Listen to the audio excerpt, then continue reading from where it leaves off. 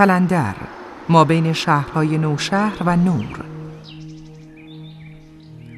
فضای زیبا و با تراوت مجتمع اقامتی هتل جهانگردی چلندر با اقامتگاه های کلبه‌ای و کومه‌ای در نوع خود محیطی جالب و کم نظیر با دید جنگل و نزدیک به دریا را به ارمغان آورده است.